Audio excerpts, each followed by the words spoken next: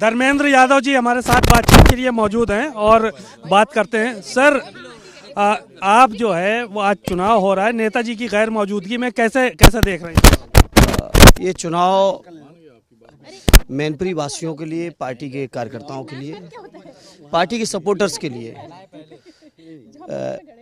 बहुत महत्वपूर्ण चुनाव है। जहाँ हम लोग अपने भावुक मन से नेताजी को श्रद्धांजलि देने के लिए। पूरे मैनपुरी वासी और मैनपुरी वासी नहीं जो वोटर नहीं भी उनकी भी भावना यही है। नेताजी को श्रद्धांजलि देने के लिए एक एक वोट। यहाँ का मैनपुरी के लोगों का रानी डिम्पल जी के पक्ष में जाएगा। रात भर आप लोग जागे हैं। आ, क्या शिकायतें आ रही थी रात में? आ, लगातार शिकायतें जा रही हैं। लगातार पिछले कई दिनों से प्रशासन के लोग सिर्फ़ समाजवादी कार्यकर्ताओं को उठाने में और हम लोग लगातार इस बात को लेकर परेशान रहे कि कैसे उनको, कल ही हमारे कुरावली के पाँच जिम्मेदार साथी, एक ब्लॉक प्रमुख, चार प्रधान, उठाए गए रात के 11 बजे, उनको जेल भेज दिया गया।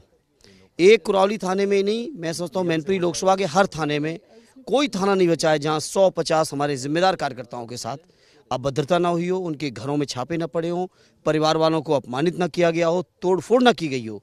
ऐसी घटनाएँ किसी भी थाने में और अनमुनन हर गाँव में आपको मिलेंगी। लेकिन बावजूद इसके सुबह से जो रुझान मिल रहा है बूथों से जो सूचना आ रही है सभी समाजवादी कार्यकर्ता बहुत बहादुरी के साथ और मतदाता बहुत उत्साह के साथ नेताजी को श्रद्धांजलि देने के लिए माननीय डिम्पल जी के पश्चिम मतदान चल रहा है। आपका पास नहीं बनाया गया बाहर जाने के लिए? आ, बिल्कुल मैं आजमगढ़ का चुनाव लड़ा था हमारे सभी सिटिंग एम का पास उपलब्ध था। मैंने इस बात का एविडेंस यहाँ के जिलाधिकारी को भी दिया था यहाँ के एडमिनिस्ट्रेशन को दिया था। लेकिन आखिरी टाइम पे, रात को 10 बजे 11 बजे सूचना आती है कि आपका पास अलॉट नहीं किया गया इशू नहीं किया गया। हमारे और भी कई एक्स एम एल का पास इशू नहीं किया गया, जो कि मैं समझता हूँ नहीं होना चाहिए। चुनाव आयोग है नियम एक है। आजमगढ़ के सभी सिटी सिटिंग एम का पास था मेरे पास। जिसका अगर चाहेंगे तो अभी मैं एविडेंस व्हाट्सएप पे दे सकता हूँ।